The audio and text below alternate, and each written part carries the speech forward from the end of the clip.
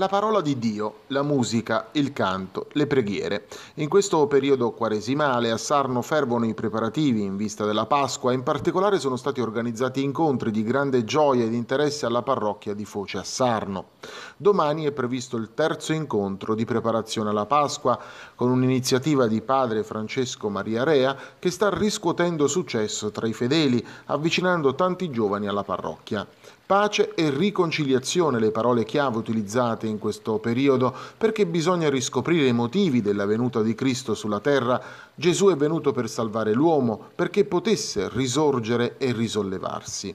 Quaresima, tra parola meditata e cantata, questo è il titolo del terzo incontro prepasquale che si terrà domani nella parrocchia Santa Maria della Foce, con la presenza del trio Canticum Cordis con Fra Vincenzo Ippolito e attraverso la parola di Dio si andrà avanti in questo percorso spirituale giungendo preparati alla gioia della Pasqua. Ne abbiamo parlato con padre Maurizio Albano, cappellano dell'ospedale Martiri di Villa Malta di Sarno.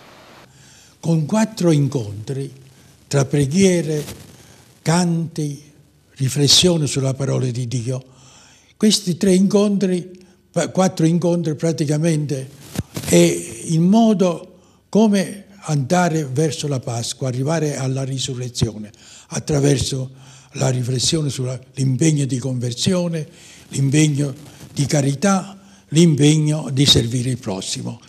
Questi quattro incontri sono tenuti da quattro giovani, primo è un, il parroco e poi ci sono altri due ragazzi che sono, uno è un violinista, l'altro è che suona al piano.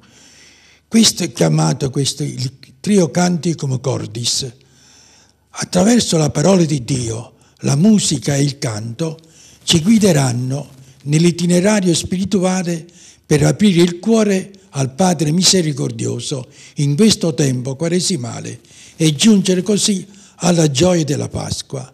Ecco, questo è il programma di quattro incontri. Due sono stati già tenuti, il terzo è il 24 alle ore 20, nel, sempre ripeto, nel santuario della Madonna di Foce e a Sarno e il quarto ci sarà dopo, dopo Pasqua, precisamente l'8 aprile. Ecco, è un momento veramente gioioso di partecipare, ascoltare la parola di Dio, pregare, pregare con il canto, perché noi sappiamo che se veramente il canto è fatto bene, è una preghiera bellissimo che ci eleva il nostro animo verso Dio, attraverso l'ascolto della parola, attraverso la riflessione di questo professore di Sacra Scrittura, Padre Vincenzo Ippolito, attraverso il canto noi veramente possiamo prepararci degnamente perché la Pasqua possa essere per noi un momento